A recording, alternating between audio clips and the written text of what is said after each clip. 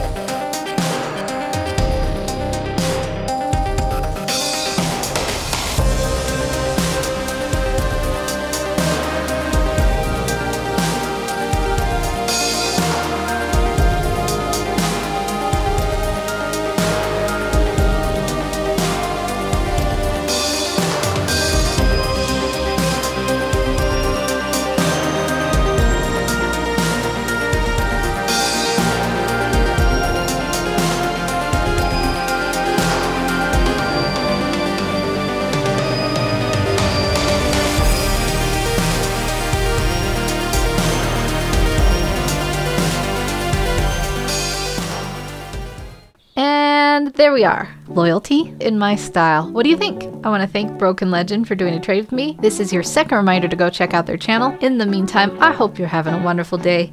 Take care, and I'll see you in the next video.